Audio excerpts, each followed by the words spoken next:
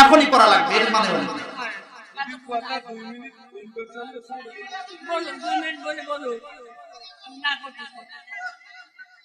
এখন ঠেকান দেখে লোক ঠেকান। আপনি ঠেকান লোক। আশ্চর্য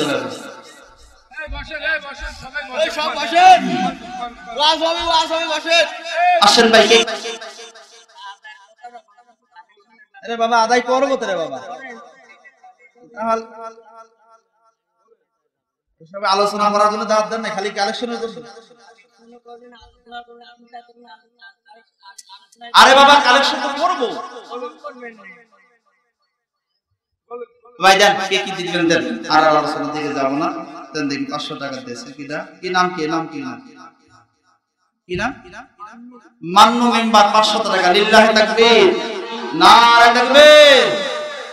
তুমি দান কবুল কি টাকা দিবেন বলেন? বলেন কে কে আছেন আর পাঁচশো টাকা দান করে আল্লাহ কবুল করো। ও ভাই কেউ উঠেন না ভাই এখনই আসেন আসেন সবাই ইনশাআল্লাহ প্রধান বক্তা আপনাদের আলোচনা শোনাবে আরে ভাই আমি উঠেইছি বাবাজি। আমি উঠেইছি পৌনে এক ঘণ্টা হলো। আমাকে টাইম দিবেন না আপনারা? মাহফিলে নিয়ে এসে আপনারা কেন এরকম নষ্ট করেন? বুঝি না। হ্যাঁ? কীভাবে কথা বলবে? কথাটা নষ্ট হয়ে গেল না কথা কীভাবে বলবে?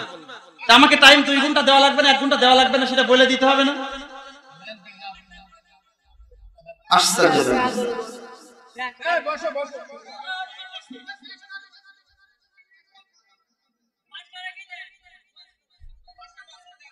আমি বলতেছি দুই দুইটা বলার পরে আপনাদেরকে আমি আলোচনা শোনাবো। তারপরে আপনি বাধা দিবেন। আপনি কেন বলবেন? আপনি স্লিপ দিবেন আমাকে। আপনি তর্ক করতেছেন। আমি আপনার সাথে তর্ক করতেছি কীভাবে? টাকা দিবে কি? কই আর টাকা কোন টাকার জন্য আজকে পাগল হয়ে গেছে আমি। আর একজন পাঁচশো টাকা দান করে যারা দান কবুল করো পরিবারে বরকত দাও। আয় আল্লাহ তাআলা আর একজন একশো টাকা দান করে যারা দান কবুল করো এ ভাই আপনারা একটু বসেন মেহেরবানি করে বসেন ইনশাআল্লাহ।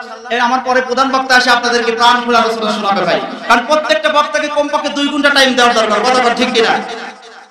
বসেন দেখেন, বসেন সবাই বসেন। প্রিয় মুসল্লিরা কিরাম এ বসেন সবাই বসেন বসেন বসেন। আমি আপনাদের করজোরে বিনতি করছি। এ আপনারা বক্তা একটু ওয়াজ বসেন, করবে, ওয়াজ বসেন। হবে আপনারা একটু বসেন।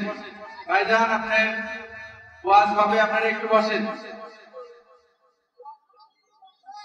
উনি আস্তে আস্তে আসেন, আসেন। ইনশাআল্লাহ আনবেন যেটুকু ওয়াজ করেছেন বাকিটুকু ওয়াজ হবে ইনশাআল্লাহ আসেন। বসেন। ভাই বসেন।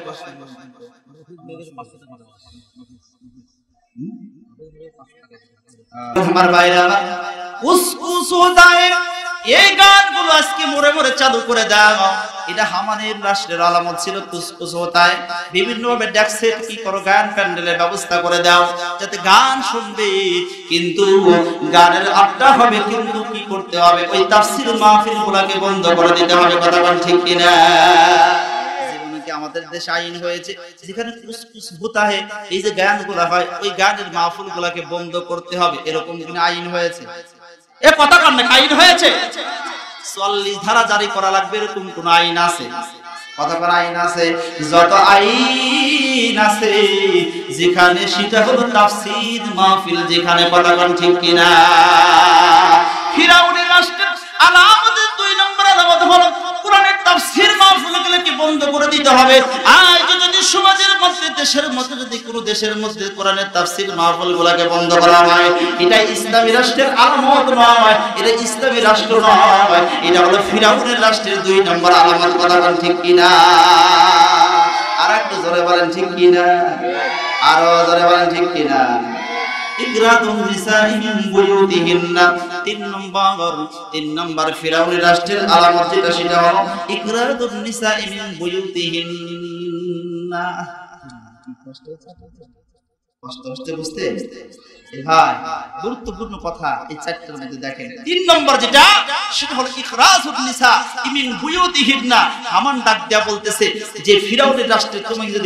দাবি করতে চাও, তোমার তিন নম্বর যে কাজটা করতে হবে সেটা হলো, সেটা কি সেটা হলো তোমার দেশের মধ্যে এই মেয়েদেরকে তুমি কি করো? বেপর্দা ভাবে রাস্তায় ছেড়ে বেপর্দা ভাবে কি করে দেব? এটা কি আমার কথা বলতেছি? কথা আমার কথা বলতেছি? আরে ফিরাউনের কথা বলতেছে। ফিরাউন আর হামান যে বুদ্ধি দিয়ে যে চারটা কর্মসূচি দিয়েছিলেন, সেই কর্মসূচির কথা বলতেছি। এখন আমাদের দেখতে হবে আমাদের দেশে, আমাদের এই এলাকায়, আমাদের বাংলাদেশ, আমাদের পৃথিবীতে কোন কোন রাষ্ট্রে এই আলামতগুলো আছে? কি জানার দরকার আছে না? কথা আছে না নাই? ফিরাউনি রাষ্ট্রের তিন নম্বর আলামত যেটা, সেটা হলো মেয়েদেরকে কি করতে হবে? ঘরের থেকে বের করে দিতে হবে। আর ঘরের থেকে বের করে দিয়ে ব্যাপারদাসীন করে রাস্তায় বের করে দিতে হবে। আজকে এরকম ব্যাপারদা ভাবে মেয়েরা আমাদের বাংলাদেশে হ্যাঁ যাব যাব।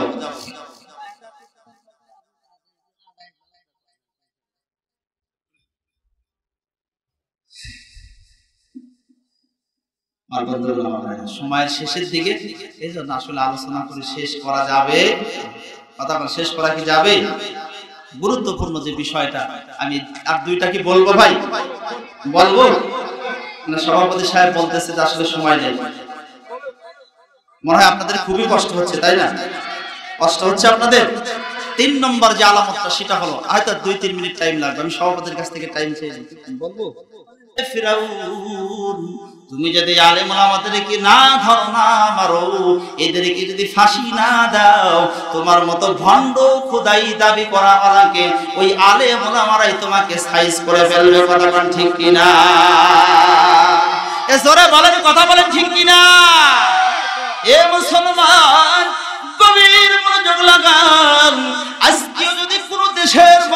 রাষ্ট্রের মধ্যে যদি এরকম আইন হয় আলে মোলামাদেরকে ধরতে হবে।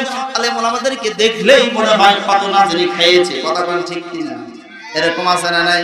আলেম যদি একটু জোরে যায়, তাহলে মনে হয় দাওয়াত পেয়েছে। আর আলেম যদি একটু আস্তে আস্তে হাতে কয়, কত নাই খাইয়া খাইছে। কথা বলেন ঠিক কিনা? এরকম মন্তব্য করে কি করে না রে ভাই?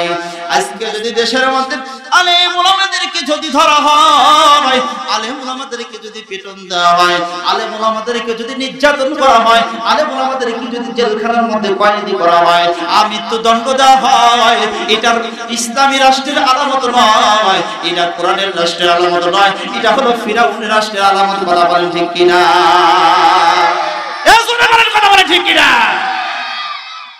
মুসলমানের রাষ্ট্রের আলামত নয়। এটা হলো ফিরাউনি রাষ্ট্রের আলামত।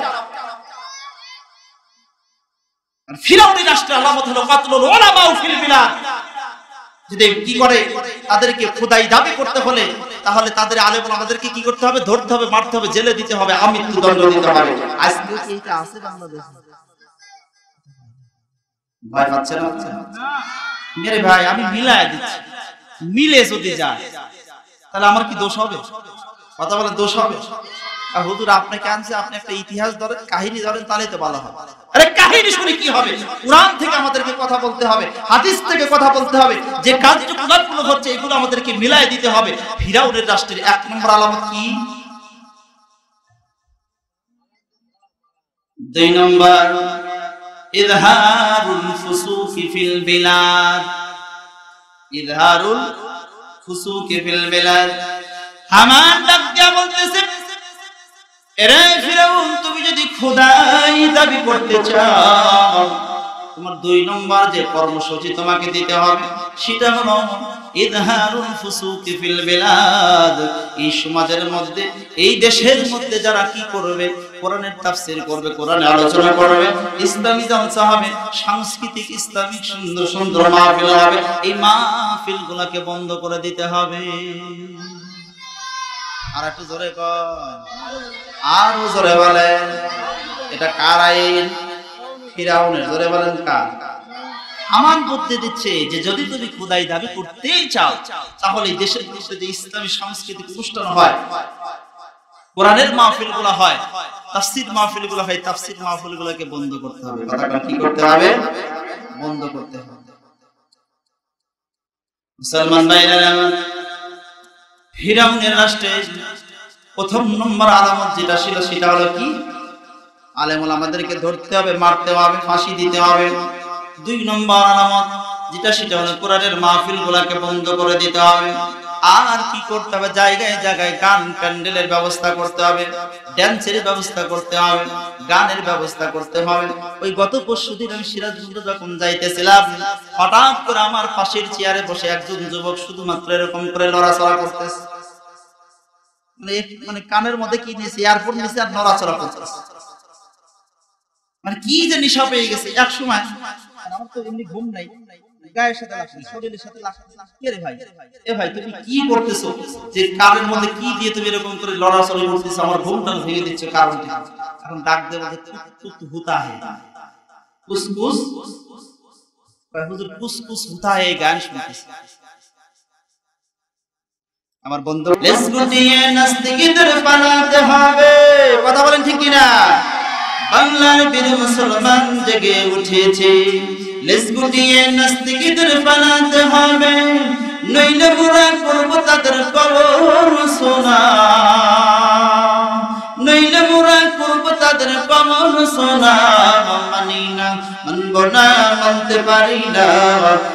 আল্লাহ রাসূলের মানো না।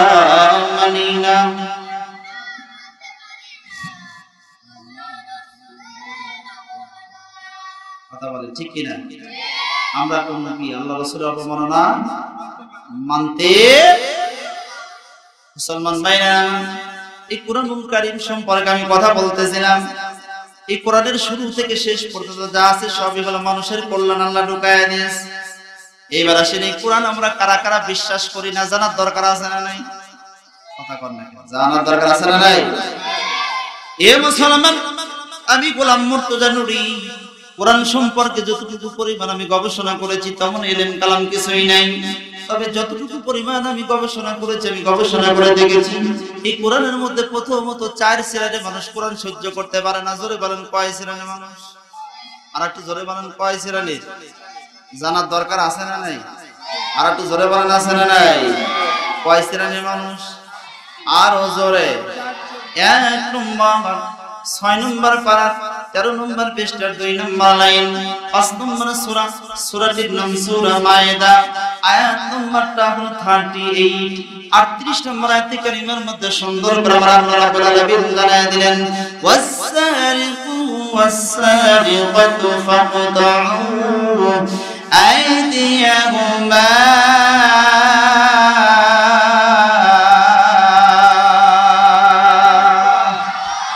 আর একটু ধরে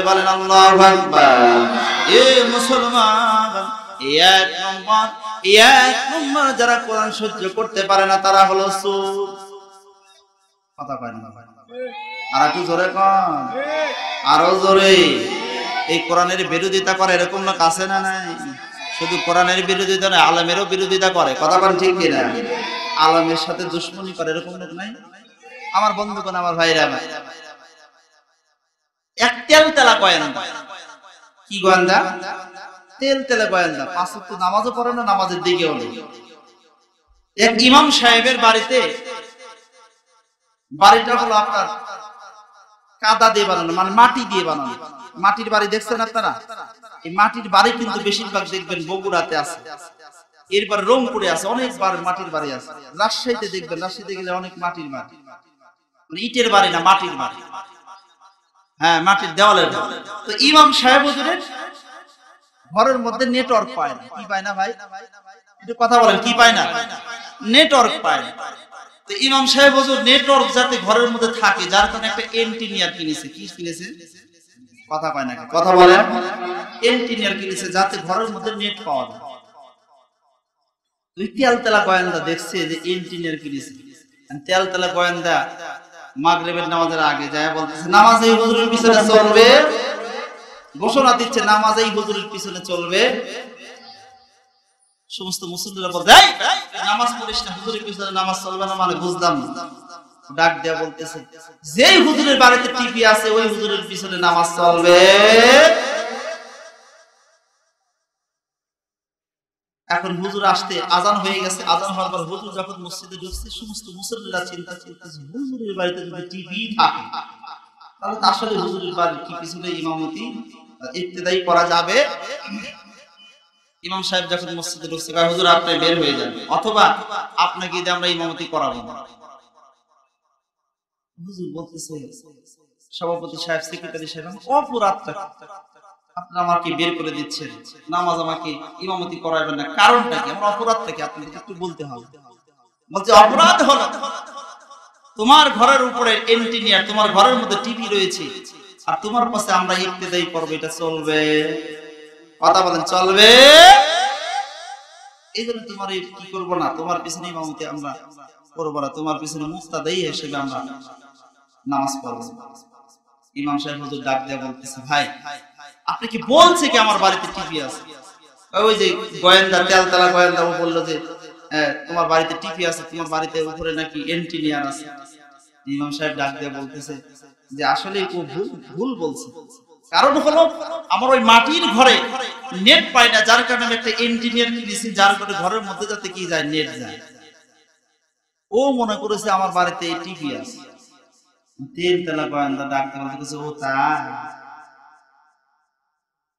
এগুলো তেল তেলা গোয়েন্দা জোরে বলেন কি গোয়েন্দা নামাজ বদ্ধ করবে না কিন্তু হুজুরদের দোষ ধরে বেড়ায় এরকম লোক আছে না নাই কথা বলেন আছে না নাই আমার বন্ধুগণ আমার ভাইয়ের আমার কি বলব আমার যে ভিডিও করতেছে বগুড়া আপনার ঢাকা থেকে আসছে মোহাম্মদ মিডিয়া এই ভাই কে নিয়ে আমি টাঙ্গাইলে প্রোগ্রামে গেছি কয়েকদিন আগে।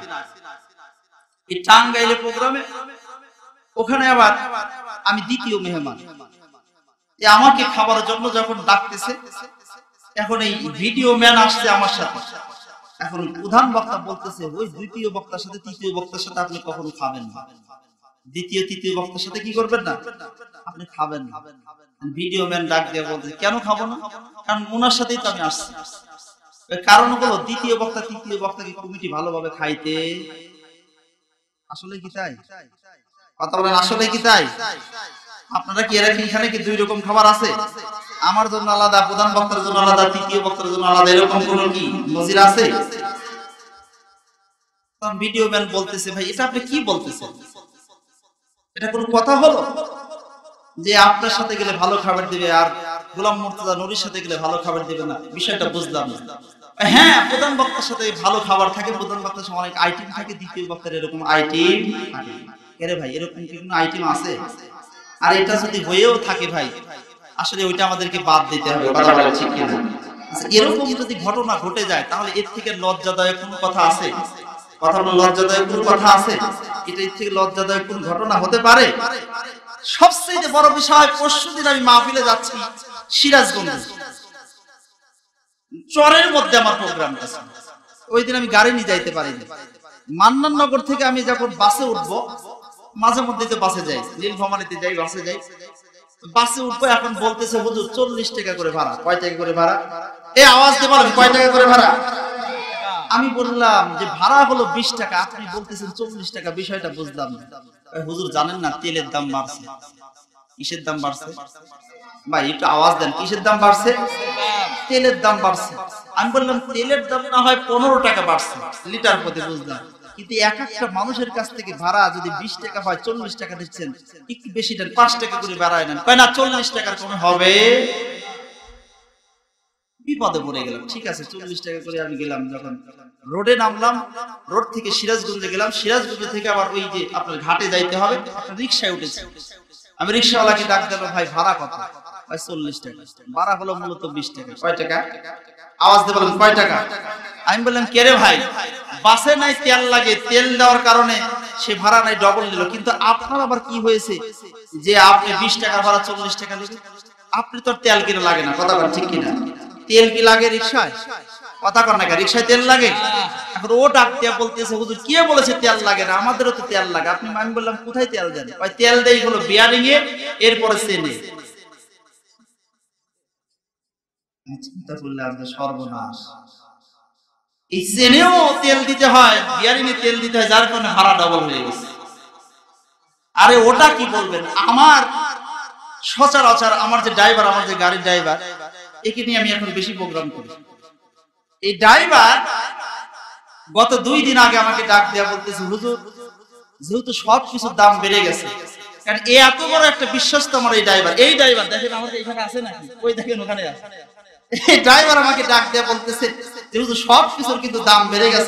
আমাকেও কিন্তু কিছু বাড়ায় আচ্ছা বলেন তো দেখি। এই যে এখানে আপনাদের এখানে আমি বসে গেছি। একটা মহব্বতের যে হুজুরের সাথে মহব্বত, হুজুরদের সাথে ভালো একটা মহব্বত আছে। এখন এই হুজুরদেরকে আমি বলতে পারব, সবকিছুর দাম বেড়ে গেছে, একটু বাড়ায় দেন। তাহলে আপনি চিন্তা করে দেখেন যে সব জায়গায় দাম বাড়ছে, কিন্তু আমাদের কিন্তু দাম বাড়তেছে, কিছু কিছু বক্তার বাড়তেছে, কথা কান ঠিক কিনা? কিছু কিছু বক্তারা আমরা পাগল হয়ে গেছি। যত টাকা লাগুক, ওই বক্তাকেই লাগবে, কথা কান ঠিক মানে ওই বক্তা ছাড়া আর হবে না, পঞ্চাশ হাজার, এক লক্ষ টাকা হোক, তাও ভালো, কিন্তু ওই বক্তাকেই লাগবে, টাকা দিয়ে আসবে। ঠিক ঠিক কিনা? সব বক্তা? আবার সবচেয়ে বড় বিষয় আমি গত দুই দিন আগে একটা ফেসবুকের মধ্যে স্ট্যাটাস দেখলাম। কিছু কিছু হুজুর আছে আজকে। আপনারা হয়তো আমাদের একবার ছোট মনে করবেন, তা না। কিছু কিছু হুজুর আছে যারা কি করতেছে? কিছু মানুষকে ভাড়া করতেছে। চারশো টাকা, পাঁচশো টাকা, দিন মজুরি যে একটা কি? মজুরি আছে না? কামলা দিলে পরে চারশো টাকা, পাঁচশো টাকা লাগে। কান্না করার জন্য মাহফিলে ভাড়া করেছে চারজনকে। জোরে বলেন কয়জনকে? এ জোরে কম জোরে কম জোরে কম কয়জনকে? চারজন মুসল্লিকে ভাড়া করেছে যে তোমরা কি করবে? শুধু কান্না এমন ভাবে কাঁদবা আমি যখন মায়ের ওয়াজ করব। কিসের ওয়াজ করব? মায়ের ওয়াজ করব, তোমরা কেনতে কেনতে একেবারে কি করে, শুয়ে পড়বা অথবা আমাকে এসে চেপে ধরবে। চিন্তা করেন, কত রকম ভাবে আজকে মানুষ ভাইরাল হওয়ার জন্য কত রকম ভাবে চেষ্টা করতেছে। আমরা ছোট মানুষ, এই জন্য আমি আপনাদের সামনে কথা বলতেছি। কেউ উঠে যাচ্ছে, কেউ চুপ করে বসে আছে। গতকালকে জেলা ফরিদপুরে প্রোগ্রাম হাজার হাজার মানুষ। আড়াই ঘণ্টা তাফসির করার পরও আমাকে ছাড়ে না। কিন্তু আপনাদের এলাকার সন্তান আমি আলোচনা করতেছি, দেখি কেউ উঠে যায়, কেউ বসে, কেউ উঠে যায়, কেউ বসে। এরকম করলে তো আলোচনা করা যাবে। কি খুবই কষ্ট হচ্ছে আপনাদের? কথা কর খুবই কষ্ট হচ্ছে। মুসলমান ভাইরা, আমার তাহলে এক নম্বর যে বিষয়টা আমি আপনাদেরকে বোঝানোর জন্য বলতেছিলাম ওয়াসারিকু ওয়াসারিকাতু ফাকতাউ আইদিয়াহুমা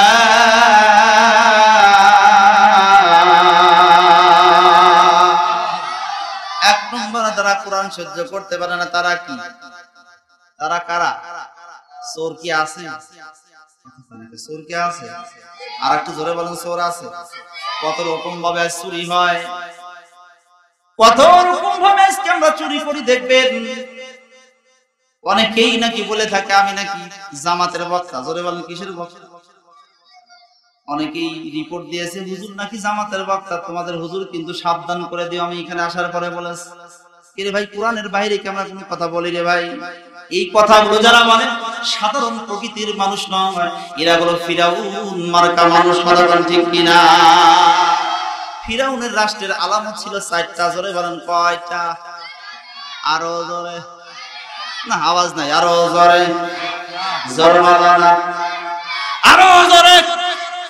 ফিরাউনের রাষ্ট্রের আলামত আজকে আমরা বাংলার জমিন সারা পৃথিবীর সাথে আজকে আমরা কি করব যাচাই করে দেখব। ফিরাউনের রাষ্ট্রের যে আলামত আজকে আমাদের সমাজের মধ্যে, পৃথিবীর মধ্যে, দেশের মধ্যে সেই চারটা আলামত আছে কিনা একটু জানার দরকার আছে না? অনেকেই মনে হয় কষ্ট ধরে বলেন জানার দরকার আছে না নাই? এ মুসলমান ফিরাউনের এক নম্বর, তার ফিরাউনের রাষ্ট্রের এক নম্বর আলামত যেটা সেটা হলো قتل العلماء في البلاد ফিরাউনের রাষ্ট্রের প্রথম নম্বর আলামত হলো যেটা সেটা হলো প্রথম হামান ডাক দিয়ে বলতেছে আরে ফিরাউন তুমি যদি খোদা হতে চাও তুমি যদি আল্লাহ হতে চাও তুমি যদি খোদা হতে চাও তাহলে তোমাকে চার দফা কাজ করা লাগবে জোরে বলেন কয় দফা আওয়াজ যদি ভালো দেন, ওয়াজ হবে ভালো, আর আওয়াজ যদি খারাপ হয়, ওয়াজও হবে খারাপ। কথা বলেন ঠিক কিনা ভাই? কয় দফা কাজ? আরও জোরে। জোর হলো না। এক নম্বর দফা গুলো, কতলুল উলামা ফিল বিলাদ রাষ্ট্রের আলামত যেটা, সেটা হলো এই ফিরাউন, তুমি কি করবা? আলেম আমাদেরকে ধরবা। আর আলেম আমাদেরকে ধরে ধরে তাদেরকে হত্যা করে ফেলবা। নাউজুবিল্লাহ বললেন কিরে ভাই, আপনারা কি নাউজুবিল্লাহ সুবহানাল্লাহ বলতে এটুকু জানেন না? জোরে করেন নাউজুবিল্লাহ।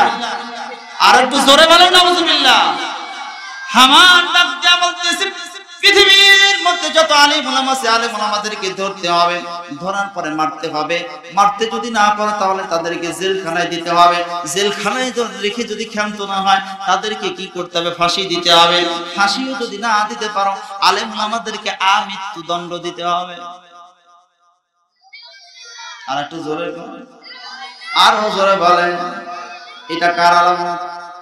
ফিরাউনের রাষ্ট্রের আলামতের এক নম্বর আলামত হলো আলেম আমাদেরকে ধরতে হবে আলেম আমাদেরকে ধরে মারতে হবে। মারতে না পারলে জেলখানায় দিতে হবে। জেলখানায় না থেকে যদি ক্ষান্ত না হয় ফাঁসি দিতে হবে। ফাঁসি যদি কিছু কিছু আলেম আমাদেরকে না দিতে পারো, তাহলে আর মৃত্যুদণ্ড দিতে হবে। এটা কার আইন? জোরে বলেন কার আইন? ফিরাউন ডাক দিয়া বলে রে হামান বুঝলাম না। খুদা হওয়ার সাথে আলেমুল আমাদের কি সম্পর্ক বুঝলাম না। কারণ আলেমুল আমাদেরকে যদি আমার বাবা মারা যায়, দাদা মারা যায়, মা মারা যায়, আত্মীয় স্বজন মারা গেলে আলেমুল আমাদেরকে যদি দাওয়াত দেওয়া হয় আলেমুল আমাদের বাড়িতে এসে খতম করে, আর সুন্দর সুন্দর কি করে বয়ান রাখে, এরপরে দোয়া করে, বাবা মার জন্য দোয়া করে কিছু টাকা দেওয়া হয় আলেমুল আমা খুশি হয়ে চলে যায়। এই আলেমুল আমাদেরকে আমি খুদাই দাবি করার সাথে যে সম্পর্ক কি, মারার সম্পর্ক কি, বিষয়টা বুঝলাম না। হামান ডাক দিয়া বলে রে ফিরাউন এ